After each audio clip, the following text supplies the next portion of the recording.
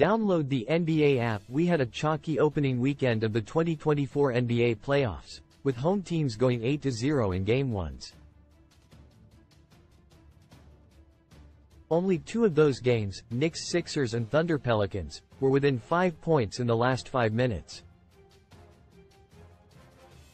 Every playoff game is different, of course. Some of those home teams are dealing with injuries, and some of the lower seeds have a ton of talent.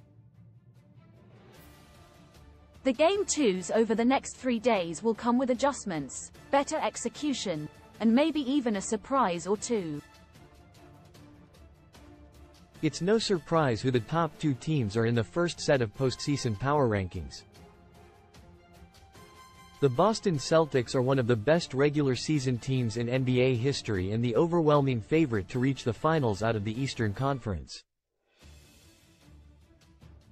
The Denver Nuggets are the defending Shams and also off to a strong start as they look to defend their title. Asterisk asterisk movement in the rankings high jumps of the last two weeks. Cleveland, plus 6, L. A. Lakers, plus 2, Milwaukee, plus 2, free falls of the last two weeks. Orlando, minus 3. Dallas, minus 2. Phoenix, minus 2. Previously, week 25 to 1 thing to watch for every team as season nears end the archive. NBA. Com Power Rankings off RTG. Points scored per 100 possessions, league rank, def RTG. Points allowed per 100 possessions, league rank, net RTG. Point differential per 100 possessions, league rank, pace. Possessions per 48 minutes, league rank. The league averaged 114.